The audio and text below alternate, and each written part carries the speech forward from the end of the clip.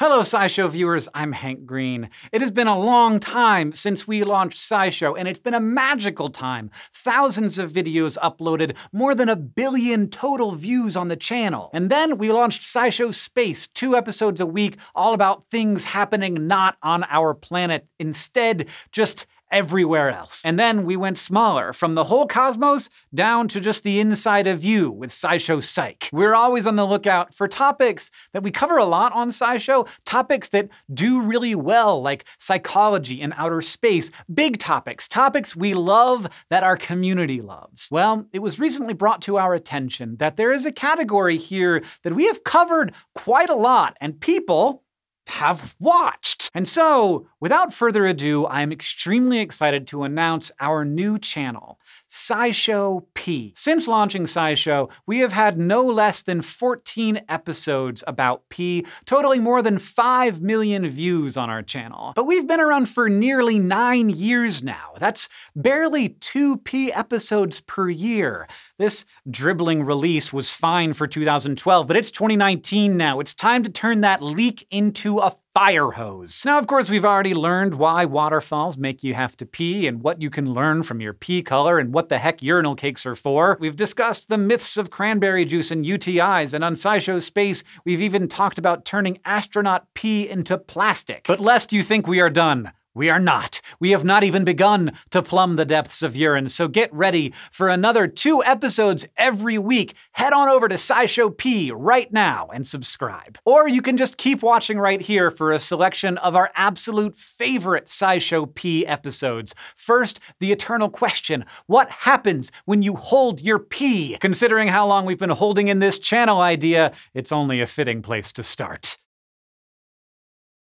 When you gotta go, you gotta go. And by go, I mean relieve yourself. You know, of urine. But sometimes, and we've all done this, you'll hold your pee to finish one more email, or so you don't miss the end of a movie, or just because you're too lazy to walk to the bathroom from the couch. You've probably heard people say that it's bad for you. And it is, but only if you do it frequently and for a really long time. And it almost always isn't life-threatening. If you're an adult, your bladder can hold up to about half a liter or two full cups of pee before you'll feel the need to let it go, as Elsa might say. Your bladder wall is lined with receptors that can measure how full your bladder is, and when it's reached capacity, these receptors send your brain a signal that it's time to hit the can. Most adults have control over their bathroom urges, meaning you can choose to pee right away after receiving these signals, or to hold it for a bit if you're not near facilities. If you do decide to hold it, the cylindrical sphincters in your bladder close up tightly to keep all of the urine from leaking leaking through your urethra. But if you hold it in for long periods of time a lot, like if you're a trucker who's on the road for hours on end for years, then you might find yourself facing some not so fun long-term effects like urinary retention and increased risk of infection. Urinary retention is the inability to empty your bladder completely.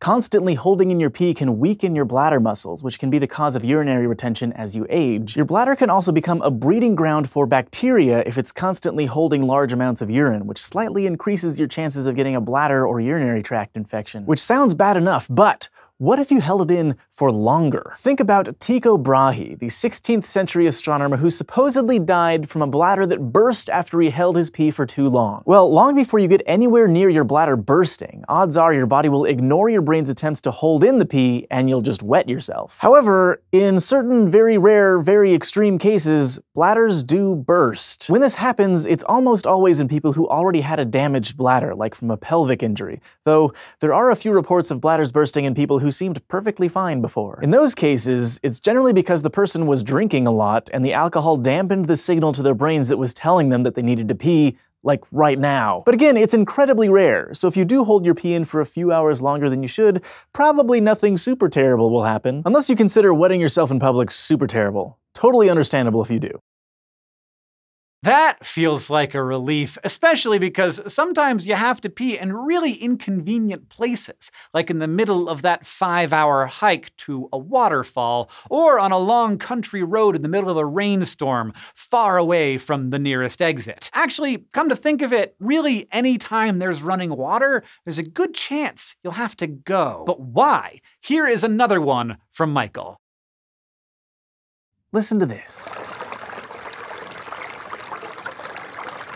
The sound of a bubbling stream can be pretty relaxing. But can I ask you a personal question? Do you kinda have to pee now? Because if you do, you're not alone. Just the sound of running water, whether it's a leaky faucet, some light rain, or a gushing waterfall, sends some people running for the nearest bathroom. But why? Psychologists and urologists, or scientists who study the urinary tract, chalk it up to the power of suggestion. Basically, running water kinda sounds like urination, so just hearing the noise can make you feel like you need to pee. This sort of unconscious association is called a conditioned response, and the psychological theory behind it has been around for a while. In fact, you've probably heard of this classic example, the Russian psychologist Ivan Pavlov and his experiments with dogs. Pavlov would set some delicious meat powder in front of a dog, and it would start salivating, which is a normal doggy reaction to food or an unconditioned response. And then he would ring a bell, and then feed the dog. After repeating this for months, Pavlov could ring a bell without offering any meat powder, and the dog would still start drooling. So his pup had learned to associate a specific sound, the bell, with a specific act, being fed. The dog began slobbering, and that was its conditioned response. This same effect could explain our strange peeing urges. Ever since potty training, we learned to associate the sound of running water with urinating and other bathroom things like flushing a toilet and washing our hands. So instead of hearing a bell, being reminded of food and drooling, we hear running water and are reminded of all things bathroom and need to pee. That's the theory, at least. The thing is, this phenomenon hasn't been officially studied in much detail, so scientists aren't positive that this is the whole cause. But it's a pretty common thing. In fact, doctors have successfully used running water sounds to help prostate surgery patients and people with paruresis, also known as shy bladder syndrome, to turn on the waterworks. Some researchers even think this power of suggestion isn't limited to audio cues, so even just looking at pictures of gushing waterfalls could give you the urge to pee. But that's probably enough urine talk for now. We'll wrap it up in case some of you need to take a bathroom break. If you had to take a break after that last video, welcome back. And if you shivered while you were on the potty break, good news. We have made a video about that too. I told you, we have a lot of videos about pee. Shivering while you pee is totally a real thing. But if you've read a bunch of online articles about why it happens, well, those might not be true. Here is Olivia with more. It's one of those questions that a lot of you have asked. Why do I shiver when I pee? If you haven't experienced this, you're probably wondering if it's even a real thing, or if it's just some big practical joke online. I don't blame you, because urinating and shivering don't seem that closely related. Well, it turns out that shivering after you pee is something a lot of people seem to experience and it seems to affect males more than females. But nobody really knows why it happens there actually hasn't been any peer reviewed research on it. Now, we're not the first ones on the internet to try to answer this question. If you look around, you'll find plenty of articles giving a few possible explanations. Here's the thing, though lots of those articles are wrong. They seem to be getting their information from a letter response article written in 1994, which itself was based on a discussion about pee shivers a bunch of people were having in a forum not exactly a legitimate scientific source. So you might have heard people say that these shivers happen because your body temperature suddenly lowers after you lose all that warm urine. But that idea just came from the discussion forum, and it doesn't really make any sense anyways. You don't shiver when you vomit, even though that's also a case where you're losing a lot of warm fluid. Even the supposedly official scientific name for the phenomenon, post-micturition convulsion syndrome was made up by someone in that forum. So remember to check those sources before you believe things online. When journalists have asked excretory system experts about this, they kind of have an explanation. The shivers might have to do with an interaction between two different parts of your nervous system. When you choose to start urinating, your body also lowers your blood pressure. That's the parasympathetic nervous system at work.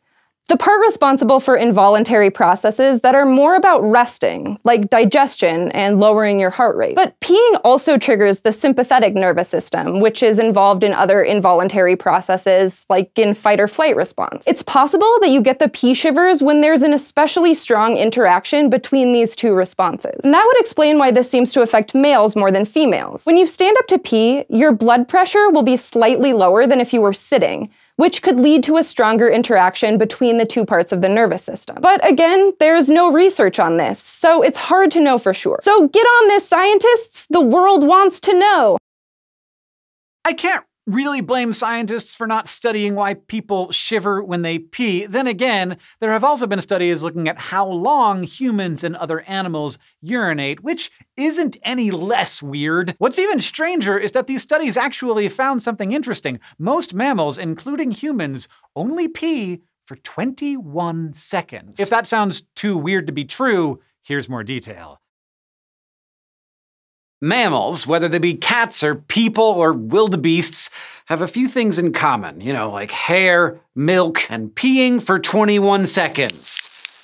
This is an actual thing. Lots of mammals take about 21 seconds to empty their full bladder. It doesn't matter if their bladder contains 5 milliliters of urine or 18 liters. 21 seconds seems to be the magic number, and that is thanks to a combination of physiology and fluid dynamics. The time it takes to tinkle depends on the amount you need to expel and the flow rate, how fast you expel it. That rate, in turn, depends on things like the width of your urethra, the pipe that delivers urine from the bladder to the outside world, and the pressure pushing the pee out. And it just so happens that those pipes are fairly proportional. That is, the larger the animal, the longer and wider the urethra. The pressure created by an animal's bladder muscles is remarkably constant, about 5.2 kilopascals. If you were wondering, you know, you have that number in your brain, I'm sure it'll stay there for a long time. But the overall pressure pushing the urine out also depends on both that and the urine's hydrostatic pressure, the pressure exerted by the fluid itself. So if you're a horse, there's a lot of weight in the bladder, and all of that mass is pushing down on the urine at the bottom, and so it gets pushed the same amount by the bladder, but much more by the hydrostatic pressure. Whereas if you're a cat, you have less liquid pushing down on the liquid and the same amount of bladder pressure, but less hydrostatic pressure. All that means that urine in a large animal is being pushed out more forcefully through a tube that's proportionally wider. That makes it flow more quickly, which makes up for the difference in volume. We know all this because some researchers actually did the math in a 2014 paper in Proceedings of the National Academy of Sciences. They also filmed and watched a bunch of animals pee to validate their results, which you know, that's science. There are a few caveats, though. The 21 second rule only counts for full bladders in mammals heavier than 3 kilograms. For smaller animals like little bats, rats, or mice, something different happens. They urinate in a series of quick droplets because the thinness of their urethras and the friction created by the flowing fluid actually pushes up on the liquid, opposing the force of gravity. This makes the urine droplets stick to the walls of the urethra at first and grow bigger in size until they're heavy enough for gravity to take over. Then they fall out quickly, usually in less than a second. It also might not apply to aquatic mammals because the water, especially at depth, applies pressure to the urethra and pushes the pee back up the pipe. The same actually goes for swimmers. It takes you longer to pee in the pool. Not that you'd ever do that. And to be clear, none of this counts for reptiles or birds because they've got a whole different excretion system. Now, while this might sound kind of like silly to study animal peeing, understanding the physics and mathematics of urine flow actually has some practical applications. Engineers could apply these findings to design systems where reservoirs, water towers, or even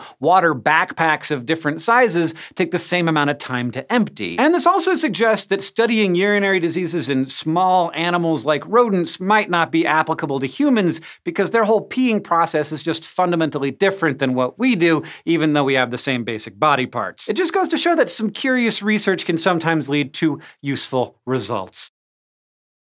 Okay, so I mentioned in that video that swimmers pee a little differently because of the water pressure, but don't pee in the pool, please. For the love of all things sanitary, just go to the toilet. Urine plus the chlorine makes some really nasty stuff. Just in case you have any doubt, here is Stefan to tell you why it's a terrible idea.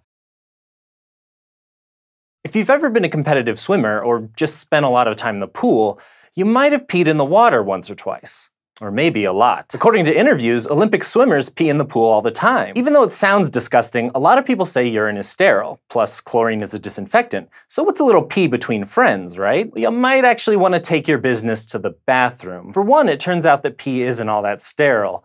But there's another problem too. Mixing urine with the chlorine in your pool can make chemicals that might cause respiratory and nervous system problems. Now, urine is mostly water, but it contains a lot of junk that your body doesn't want anymore, including uric acid and urea, both nitrogen-containing molecules. Uric acid is produced when your body breaks down molecules called purines, like the ones in some of your DNA bases, and urea is made from the breakdown of proteins. And when these waste molecules mix with chlorine in the pool that's meant to destroy bacteria and viruses, they react to form disinfection byproducts, or DBPs for short. Specifically, urea reacts to create a type of chemical called chloramines, swapping out its hydrogen atoms for chlorine atoms. Trichloramine especially is pretty reactive and can corrode the metal in and around pools. And you might know it by its smell. That classic chemical pool smell is caused by chloramine gases, not chlorine. A lot of people, like lifeguards, have reported that they get red eyes, a runny nose, or a scratchy voice after being around the pool too much, which could potentially have something to do with irritation from lots of trichloramine. Some researchers think chloramines could cause respiratory problems in swimmers too, since they probably breathe in a bunch more than your average pool goer. But we'll need to do more research to really understand the health effects. We've known about the connection between urea and trichloramine for a while now,